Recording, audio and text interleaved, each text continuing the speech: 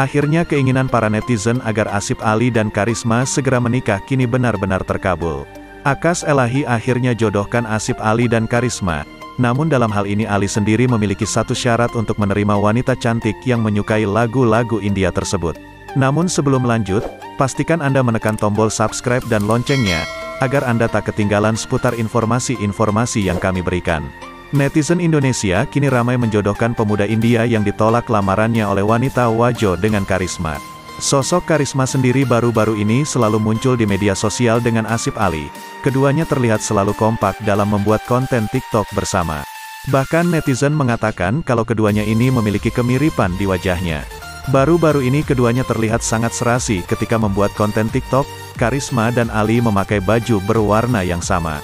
Dalam hal ini netizen dibuat terpana dengan pandangan dan senyuman Asif Ali kepada Karisma. Banyak yang mengatakan kalau Asif Ali memiliki rasa yang terpendam kepada Karisma. Namun itu semua hanya pandangan netizen kepada Asif Ali. Diketahui Asif Ali sendiri memang masih belum bisa melupakan sosok Syarifah Hairunisa, wanita yang sudah membuat dirinya patah hati.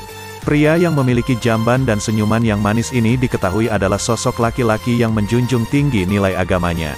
Sampai untuk memilih calon istri pun Ali lebih mengutamakan wanita yang menutup auratnya. Ali lebih suka melihat wanita berhijab ataupun bercadar.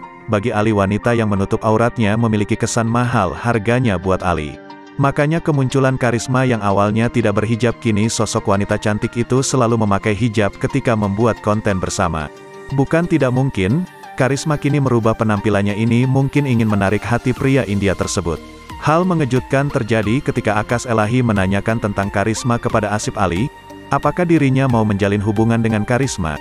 Namun jawaban Ali sungguh sangat bijaksana, dirinya mengatakan kalau siapa pun bisa menjadi istri saya termasuk karisma. Syaratnya wanita tersebut harus mau menikah secara ta'aruf, kata Asif Ali. Mendengar ucapan Asif Ali seperti itu, sosok karisma pun tersenyum malu sambil menatap wajah Asif Ali.